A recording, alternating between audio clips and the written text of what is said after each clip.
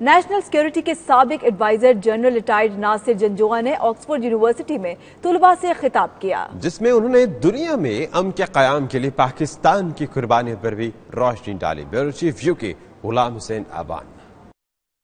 National security کے سابق adviser lieutenant general Nasir Janjua نے آکسفورڈ یونیورسٹی میں طلباء سے خطاب کیا، جس میں ان کا کہنا تھا کہ پاکستان پر حقانی نیٹ ورک کی سپورٹ جیسے الزامات میں کوئی صداقت نہیں ہے۔ ان کا کہنا تھا کہ افغانستان کے حالات کی ذمہ دار عالمی طاقتیں ہیں، سی پیک پاکستان کی ترقی اور خوشحالی میں اہم کردار ادا کرے گا۔ طلباء سے خطاب میں ان کا مزید کہنا تھا کہ دہشت گردی کے خلاف جنگ میں پاکستان کی قربانیوں کا اعتراف ہونا چاہیے۔ پاک بھارت تعلقات پر بات چیت میں ان کا کہنا تھا، دونوں ملک ہی ایٹمی طاقت ہیں، لیکن جنگ کسی مسئلے کا حل نہیں۔ دونوں ممالک کو اپنی پالیسیوں پر نظر ثانی کی ضرورت ہے۔ کیمرہ ٹیم کے ساتھ Ghulam Hussain Awan, ninety two news, London.